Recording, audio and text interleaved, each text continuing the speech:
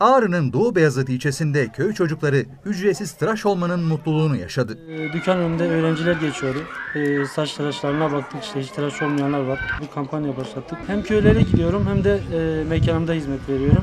İnegöl Caddesi'nde berberlik yapan Oktay Sekir'den okulların açılmasıyla birlikte imkanı olmayan öğrencilere destek olmak istedi. Ücretsiz tıraş kampanyası başlattı. Biz mutlu oluyoruz hem de öğrenciler mutlu oluyor. Çünkü çocukken biz de bunları gördük. Keşke bizi bir tıraş etseydi gibisinden. Çocukların mutluluğu bizim için daha önemli. Bir ay boyunca kampanyamız devam edecek. Allah'ın izniyle Doğu Beyazıt ilçesinde e, tıraş olmayan öğrenci kalmayacak. Sekir'den 5 kişilik ekibiyle köy okullarını gezerek öğrencileri sevindiriyor. Yani çocukları 3 numara falan vurmuyoruz. Ee, istediği şekilde tıraş ediyoruz, fön çekiyoruz. Ee, yeter ki mutlu olsunlar. Hayırsever berber meslektaşlarına çağrı yaptı. Ee, Kuaför meslektaşlarımı da bu e, kampanyaya e, davet ediyorum. Bayan kuaförlerini de burada sesleniyoruz. Onları da mutlu etmek bize mutluluk verecek. Tıraş olan öğrencilerin mutluluğu kameralara böyle yansıdı.